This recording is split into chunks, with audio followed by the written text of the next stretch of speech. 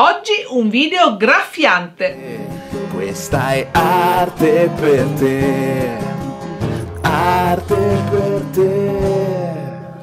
Tutti e benvenuti da Ombretta su Arte per te, nuovo video sulle tecniche artistiche. Oggi faremo il graffito, sì, come quando andavamo alle scuole medie e ci divertivamo con i pastelli a cera a colorare interi fogli di carta per poi graffiare via il colore e fare uscire dei meravigliosi mondi colorati sotto le nostre mani. Rispondendo a un commento di uno di voi, di Maria Chiara Mennucci, sotto l'ultimo video, ciao Maria Chiara, un grande bacio e grazie sempre per esserci ci siamo messe a rivangare i, i vecchi tempi, quando a scuola facevamo il graffito. E allora ho detto, sai che c'è? Quasi quasi faccio un video, perché è una bellissima tecnica che in forme spicciole può dare vita a delle cose molto elementari, ma in forme un pochettino più articolato possono venire fuori anche dei bei lavori. E allora spostiamoci di là e andiamo a vedere cosa ho combinato.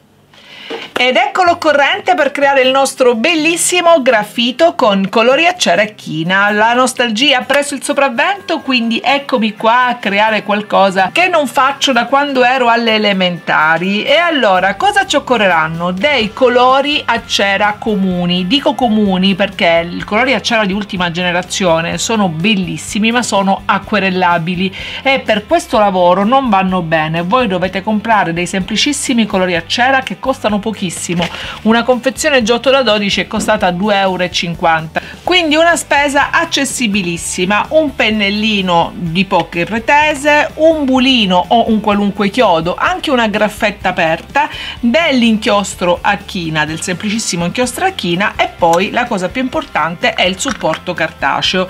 Io ho scelto una carta abbastanza grammata che regga l'umidità apportata dalla china ma nello stesso tempo una carta che lasci anche una bella patina macchina uniforme come soltanto un bel foglio liscio ma accogliente sa dare. E quindi ho scelto un Fabriano Bristol. Sì me l'ha mandata l'azienda ma non vi sto dicendo queste cose della carta perché me l'ha inviata l'azienda ma semplicemente per farvi capire le caratteristiche della carta che ho scelto. Quindi se voi non volete acquistare un album appositamente per questo lavoretto lo capisco perfettamente ma scegliete una carta che abbia le stesse caratteristiche. Una grammatura di almeno 200 grammi nel mio caso sono 250 la cui eh, texture sia al contempo leggerissimamente aggrappante Bene, cominciamo subito. Una cosa utile per chi vuole affrontare un lavoro di questo tipo è avere più o meno in mente il disegno che si vuole realizzare. Questo per far sì che la posizione alla base dei colori a cera sia una posizione studiata e non casuale. Io per esempio voglio fare una sorta di mandala, zentangle, comunque voglio che abbia un andamento concentrico. Di conseguenza apporrò i miei colori a cera in maniera concentrica in modo che poi venga un degradé di colori eh, indipendentemente dal disegno che poi sceglierò di fare ma che i colori si spandano dal centro verso l'esterno. Bene cominciamo subito. È inutile parlare. Proprio per quanto vi dicevo prima comincerò con un colore chiaro al centro e farò proprio un bel cerchio. Cercherò di saturare molto bene il colore quindi fare una bella patinona. A un certo punto vi accorgerete che il foglio non prende più colore quando invece di mettere lo gratterete via già col colore a cera e allora a quel punto fermatevi. Quindi continuo ad apporre altro colore. Io qui adesso sto dando un degradé eh, da caldi a freddi ma voi fate un po' quello che vi pare insomma a vostro gusto. Come vedete non lascio neanche uno spazietto bianco e la cosa che mi interessa maggiormente farvi vedere è che lì dove si incontrano i due colori li accavallo leggermente vedete? Faccio entrare un po di arancione all'interno del giallo e poi un po di giallo all'interno dell'arancione. Così. Bene continuiamo così fino a che tutto il foglio non sarà ricoperto di colore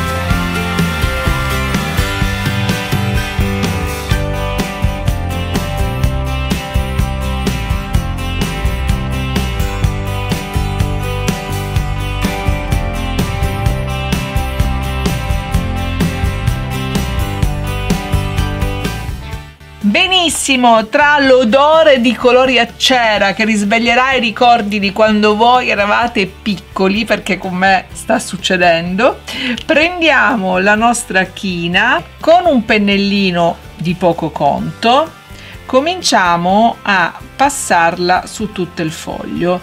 Al primo passaggio ovviamente la materia grassa non permetterà alla china di aggrapparsi totalmente, ma non vi preoccupate, fatela asciugare e quindi date una seconda mano e vedrete che lì la coprenza sarà definitiva.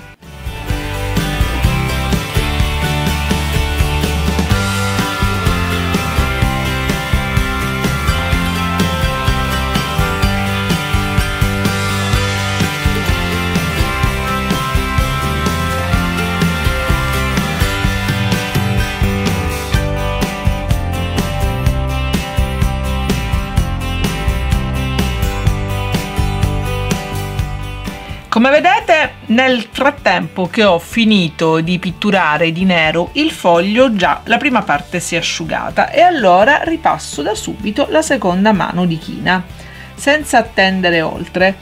A questo punto passata su tutto la seconda mano aspetto che il foglio asciughi perfettamente. Benissimo, pronti per iniziare, prima pallina, guardate come viene fuori. Carina carina. Bene attorno a questo comincio a sviluppare il mio mandala piano piano senza fretta perché qua non si torna indietro ho fatto un segno quello è. Quindi con molta calma cominciamo a riempire tutto il nostro disegno.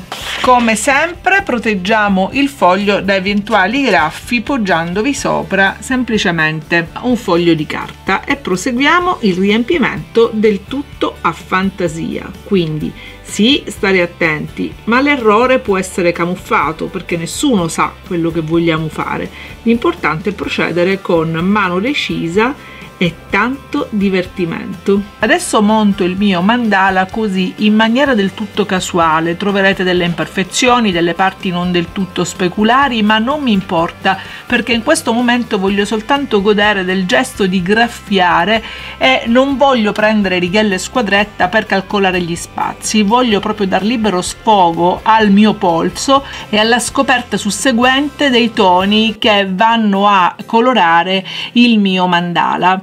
Guardate quindi come quell'armonicum di cui vi parlo, anche se le forme non sono uguali, questo dovrebbe molto disturbare, in realtà viene tutto omogeneizzato ed inglobato in un lavoro di armonia, appunto, dal degradare dei colori che rimane perfettamente omogeneo in tutto il disegno. Quindi non è necessario fare le cose meccanicamente, ma è favorevole farle in maniera distesa, continuativa e soprattutto cercando un'armonia prima interiore e poi da proiettare nel foglio.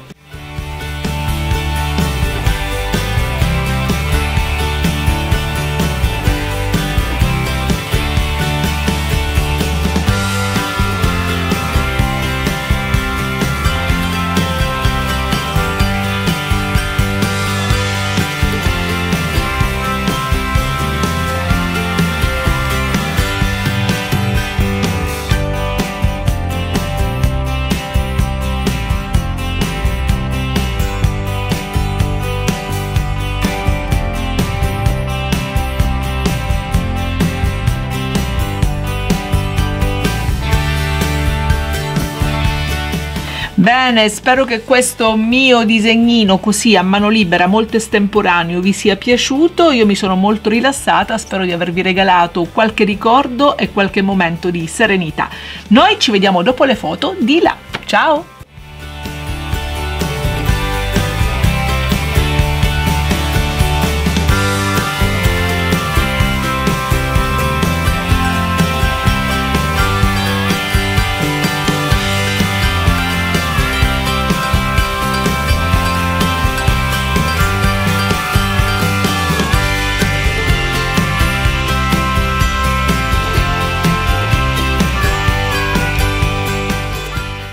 guardo che bello il mio graffito con questo degradare di colori, questo mandala, un po' anche impreciso perché non ho voluto prendere righello e squadretta. Se mi conoscete sapete che io aborro righello e squadretta, proprio mi danno fastidio misura, misura, le misurazioni nei disegni e quindi vado a mano libera. Sono stata contentissima vi, vi, dico la verità, avrei voluto continuare almeno per altre due ore. Il senso di rasserenata tranquillità, il vedere venire fuori da quella campitura nera quel bel colore che non era troppo sgargiante, era il colore pacato dei pastelli a cera, quell'odore di pastello a cera che mi ha riportato indietro nel tempo, bellissimo, provate ragazzi, specie se vi piace fare mandala, zentangle, vengono bellissimi con questa tecnica. E allora se questo video vi è piaciuto graffiatemi un bel pollice in su, condividetelo sulle vostre pagine Facebook, fatemi pubblicità con i vostri amici, ve ne sarò grata per sempre e soprattutto venitemi a trovare sui miei altri canali Ombretta e Due Cuori e una K.